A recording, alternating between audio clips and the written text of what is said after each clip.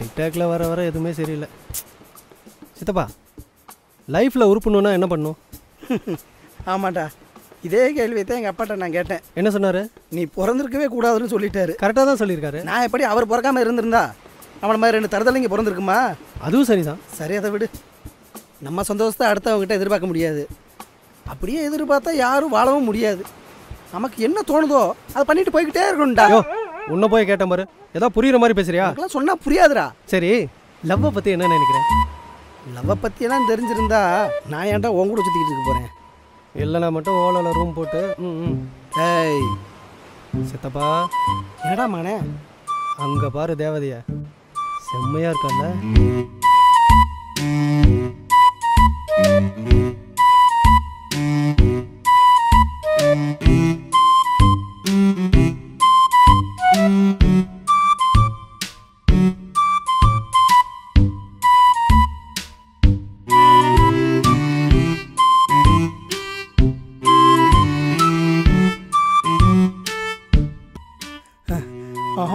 ஆமாண்டா யோ வாய முடியா நான் போய் பேசி உஷார் பண்ணுற பார்க்குறியா டே டேய் முன்ன பின்ன தெரியாத பொண்ணுகிட்ட பேசி அடி வாங்காத. உனக்கு உஷார் பண்ண தெரியாது. நான் பேசி எப்படி உனக்கு செட் பண்ணி வரேன்னு மட்டும் பாடுறா.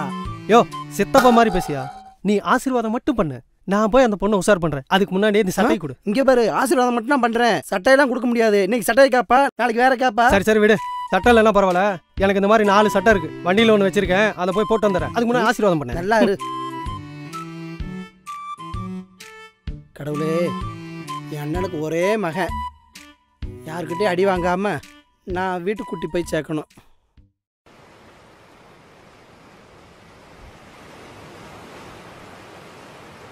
ஹாய் ஹலோ நீங்கள் ரொம்ப அழகாக இருக்கீங்க. நான் உங்ககிட்ட கேட்கவே இல்லையே.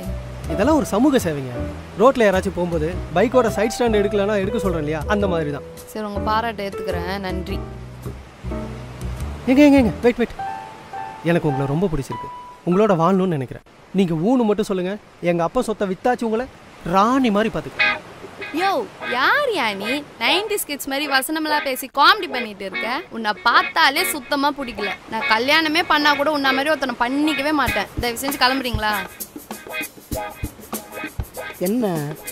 நம்ம ஆசீர்வாதம் பண்ணா உருப்படாது? இவ்வளவு நேரம் பேசிக்கிட்டு இருக்கானே. Power போயிருச்சோ? Wait wait wait wait wait wait உங்கள் நியாயம் எனக்கு புரியுதுங்க. நானும் செம்ம அழகாக இருக்கேன். நீங்களும் சுமாராக இருக்கீங்க. உங்கள் தாழ்வு மனப்பான்மை எனக்கு புரியுது. என்னதான் இருந்தாலும் உங்கள் மனசாட்சி உங்களை கொல்ல தானே செய்யும். சரி நம்ம ஃப்ரெண்ட்ஸாக இருப்போமா? இவன் போக மாட்டோம் போல இருக்கு. கமான் ஆன்சர் கொடுங்க.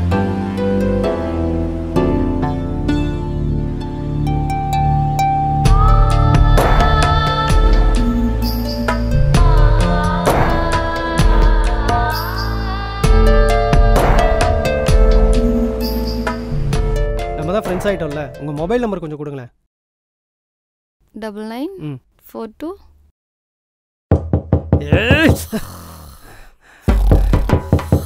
ஏய்! சபரி! சிம்பு!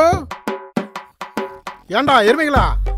மணி என்னடா ஆகுது பதினொன்று ஆகுது. இன்னும் என்னடா உங்களுக்கு தூக்கம்? உங்கள் அம்மா செத்ததுக்கு அப்புறமாவது நிம்மதியாக இருக்கலாம்னு பார்த்தேன். உன்னை பெத்து போட்டு அந்த நிம்மதியும் போச்சு. உங்கள் அண்ணன் கூப்பிட்றாரு பாரு. அவனை ஒரு ஆம்லெட் போட சொல்கிறேன் நீயே போய் போட சொல்லு. பெத்ததும் சரியில்லை கூட பிறந்ததும் சரியில்லை. சரி சரி ஆக்கி வச்சிருக்கேன். அதை கொட்டிட்டு தூங்குடா.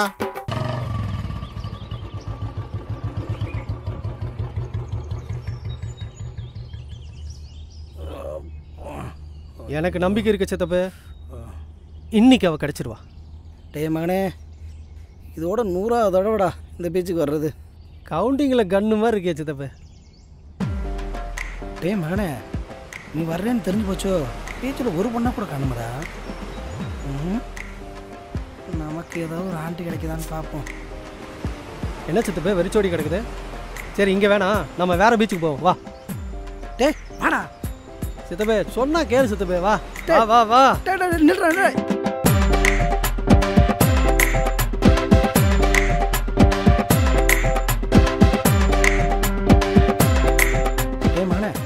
அந்த அது அதுவா? இது இது- இது- இதான் பாரு. ஆமாம் இவ்வளோ மாதிரி இருந்தா? ஆனா இவள் இல்லையா? டேய் மகனே இது. அவ இளநி விற்கிறவையா பகல்லையும் கூட்டு வர நைட்டும் கூட்டு வர உன் ஆள் எங்கடா இருப்பா? என் ஆள் பீச்சில் தான் இருப்பா சித்தப்பா.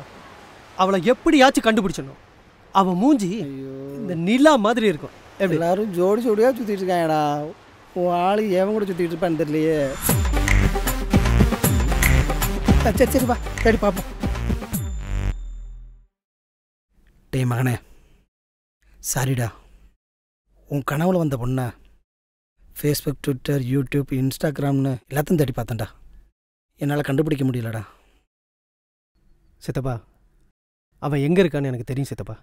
எங்கடா? ம். அவ என் கனவுல மூளைக்குள்ள இருக்கா சித்தப்பா.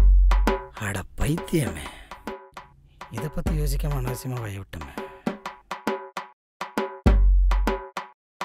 மகனே சொன்னா கேள்றா கனவுல வந்த பொண்ணெல்லாம் நேரில் கிடைக்காதுடா. நீயும் கஷ்டப்பட்டு என்னையும் கஷ்டப்படுத்திக்கிட்டு உங்கள் அப்பாவையும் கஷ்டப்படுத்திக்கிட்டு எதுக்குடா இதெல்லாம்? விடுறா அவளை மறந்துடு டேய் சிம்பு போகிற வழியில் சனீஸ் கடையில் பானிபூரி நல்லா இருக்கும் கொஞ்சம் வாங்கி ஓஹோ. நீ இவ்வளோ நேரம் பேசுனதெல்லாம் இந்த பானிபூரிக்கு தானா? என் கனவுல வர பொண்ணு எங்கே தேடினாலும் கிடைக்க மாட்டான்னு எல்லாரும் சொல்கிறாங்க ஆனால் என்னோட ஆள் மனசில் அவள் கண்டிப்பாக என்னை தேடி வருவான்னு எனக்கு நம்பிக்கை இருக்குது அது வரைக்கும் அவளுக்காக நான் காத்திருப்பேன். ஒரு நாள் அவள் என் கண் முன்னாடி வந்து நிற்காமல போயிடுவான்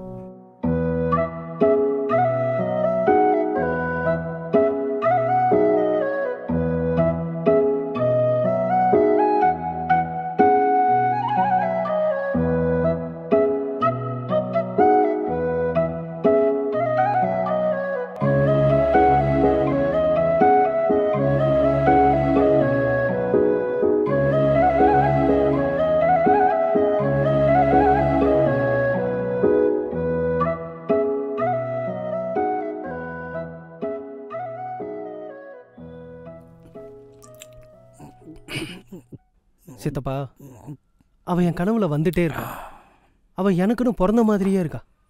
எனக்கு என்ன பண்ணுறதுன்னே தெரியல. எனக்கு ஏதாச்சும் ஒரு ஐடியா கூட. டேய் மகனே நீ மினிஸ்டர் பொண்ண சொன்னா கூட இந்த சித்தப்பா சோலாவை போய் தூக்கிட்டு வந்து உனக்கு கட்டி வைப்பேன்டா. நீ என்னடானா விஜய் படத்தில் ஒரு மாதிரி கனவு காதல்னு சொல்லிட்டு அலையிற எனக்கு என்ன பண்ணுறதுன்னே தெரியல சித்தப்பா. எனக்கு சின்ன வயசுலேருந்து ஃப்ரெண்ட்ஸ் இல்லை. அம்மா இல்லை. எனக்கு எல்லாமே நீ தான் சித்தப்பா. எனக்கு உன்னை விட்டா வேறு யார் இருக்கா? சரிடா மகனே. இப்போ என்ன பண்ணணும்னு சொல்லு. சித்தப்பா என் கனவுல வர பொண்ணு அடிக்கடி பீச்சில் தான் வருவா. நாம சென்னையில் மட்டும் தானே தேடி இருக்கோம் நாம ஏன் கோவா கேரளாவில் போய் தேடக்கூடாது? யோசனை நல்லா தாண்டா இருக்கு. எப்படி போயிட்டு வரதுக்கு ஒரு வாரம் ஆகும்? ஆனால் ஒரு வாரத்துக்கு பணத்துக்கு என்ன பண்ணுறதுன்னு தெரியலையாடா நாம தான் சென்னையில் இருக்க போகிறது இல்லையா? ஆமாம் அதுக்கு? பைக்கை வித்துரு. டேய் அதெல்லாம் முடியாது. ஏன்டா அந்த பைக் யார் வாங்கி கொடுத்தா தெரியுமா? எங்கள் அம்மா கஷ்டப்பட்டு வாங்கி கொடுத்தது அது? அடாடாடாடா எதுக்கு பிளான் பண்ணுறான் பாரியா? எனக்கு ஃப்ரெண்ட்ஸ் இல்லை. அம்மா இல்லை. எனக்கு எல்லாமே நீ தான் எப்பா சாமி நிறுத்துடா. இப்போ என்னடா பண்ணணும்? பைக்கை விற்கணும் அவ்வளோதானடா வித்து துளையிற வாடா. சித்தப்பா. வேற என்னடா வேணும்? அப்படியே அப்பா கிட்ட பர்மிஷன் ஓ அவங்ககிட்ட வேற பெர்மிஷன் வாங்கணுமா? ஏதோ நான் தான் உனக்கு எடுத்துக்கிட்டு நினச்சிட்டு இருக்கேன். அதானே உண்மை. வந்து தொலை வாங்கி தொலைகிறேன் யோ சரக்கு. சரி சரி ஓகே நானே பார்த்துக்கிறேன் நீ போய் படுத்துங்க போ. வயசான காலத்தில். திண்ணையை பிடிச்சி நடக்கும்போது என்னை பிடிச்சி நடந்த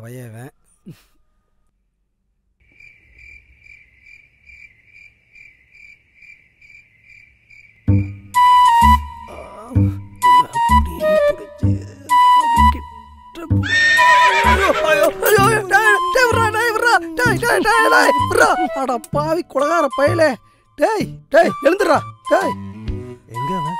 அடைச்சி நீயா எவடா?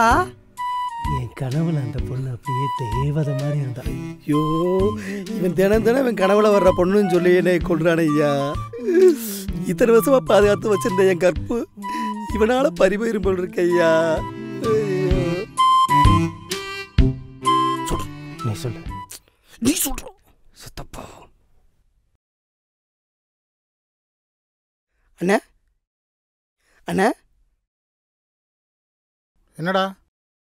ஒரு சில்லறை வேலையா? நானும் சிம்புவும் கோவா வரைக்கும் போக வேண்டியது இருக்குண்ணே. ஏண்டா நீங்களே சில்லற பசங்க.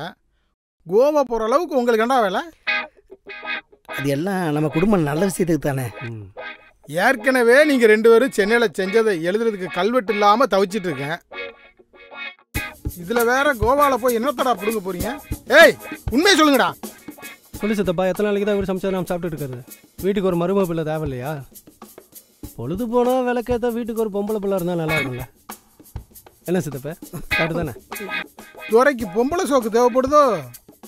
எப்பா உங்களுக்கு சாப்பாடு தான் பிரச்சனைனா சொல்லிடுங்கப்பா. நான் வேணா ஒரு வேலைக்காரி வச்சுக்கிறேன்ப்பா. அதுக்காக நீங்க யாரும் கவலைப்படாதீங்க. சரியா? எப்படி சொல்லியே ஆறு வேலைக்காரி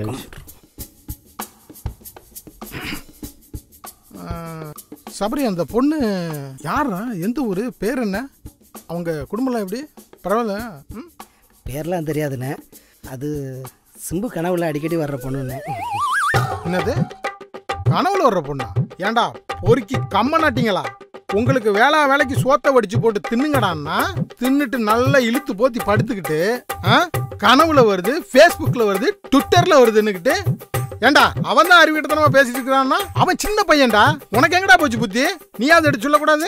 இந்த கோபம் இருக்கு ஒன்றும் குறைச்சல் கிடையாது. டேய் சிம்பு வாடா. நான் பெர்மிஷன் வாங்கி தரல வாடா.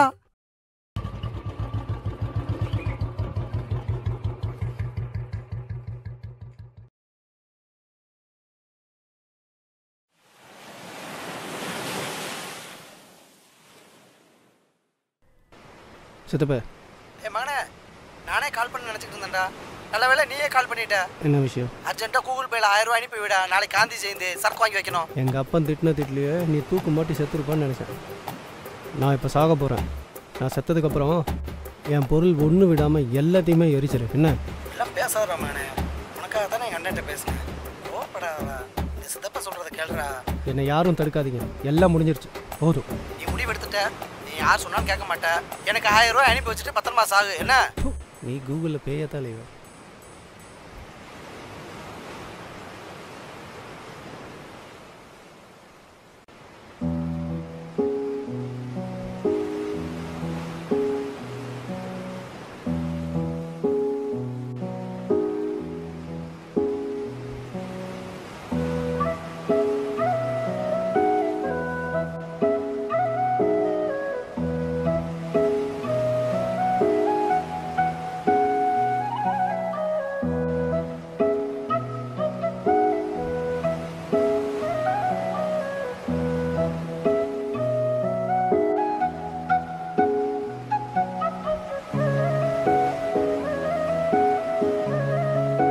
கடவுளே கண்ணில் காட்டிட்டேன்.